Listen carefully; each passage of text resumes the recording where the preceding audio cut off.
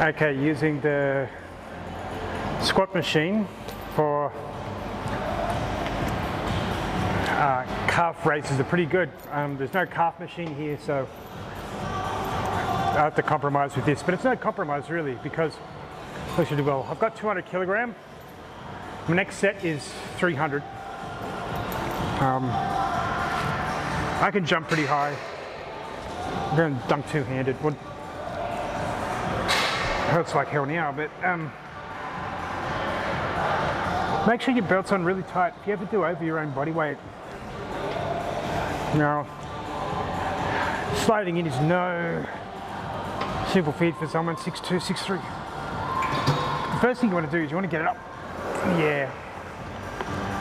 Then get your, the ball of your feet should be about an inch above the end of the plate, just for safety. And then remember to keep your knees and your big toes straight ahead. I see a lot of people really bending their legs out.